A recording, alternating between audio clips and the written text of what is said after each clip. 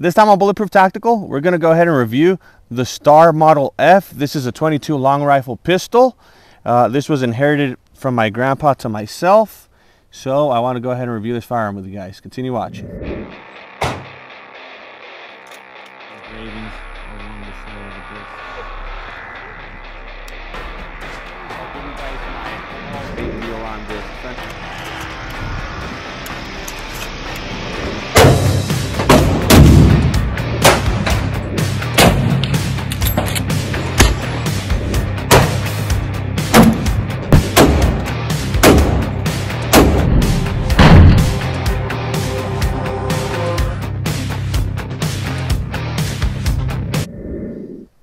All right, so let's go ahead and get started with today's review. So what makes this firearm so special and why am I even reviewing it? Uh, I'm actually in Mexico again. Uh, I did another video and uh, you guys can go check that out. Some homemade firearms I made back when I was 15. And this is my grandpa's firearm.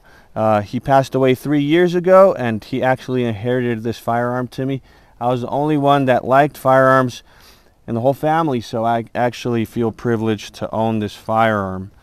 And uh, this is a Star Model F. This is a 22 long rifle pistol, but you guys can see the construction. We're going to do a safety check before we start. You guys can see nothing there. And uh, let's go ahead and continue. Uh, firearm is clear. And uh, you guys can see the construction is really similar to a 1911. Really gives me that 1911 look. The weight to it, it's nothing but metal. It's actually uh, 25 ounces, so it's on the heavy side. Uh, total of 11 round mag capacity. Once again, these are 22, 40 grains.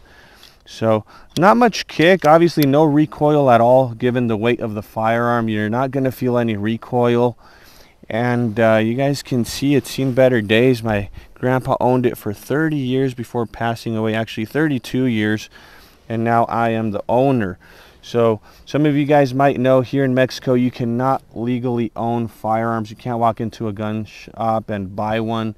So there's a lot of old firearms laying around. Most of them are going to look like they're in this condition. Really old firearms that people had uh, pretty much hidden.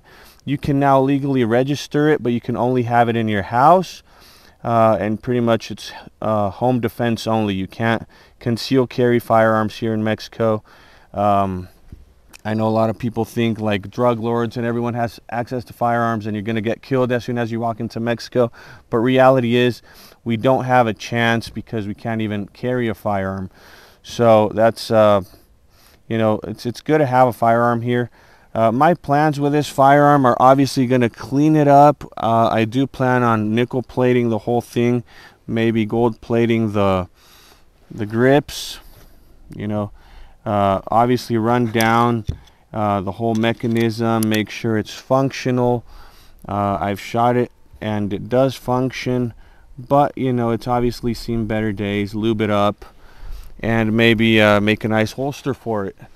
But yeah, that's pretty much uh, overall um, length of the firearm is 7.25 uh, inches. barrel length is 4.25 inches.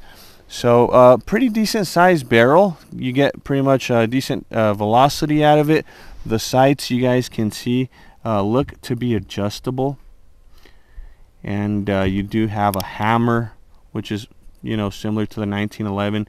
You do get a manual safety right here.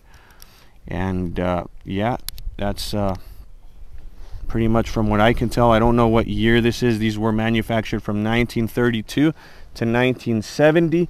So pretty old firearms. You're probably going to only see them at gun shows, maybe auctions, but they're not going to be too common. And uh, I don't know. Let me know, guys. What do you guys think about this firearm? Um, leave me a comment. I would like to read your guys' comments. And uh, what would you do if your grandpa had handed you a firearm? What would you do with it? And uh, thank you very much for watching Bulletproof Tactical. Don't forget to subscribe, and we'll see you on the next one.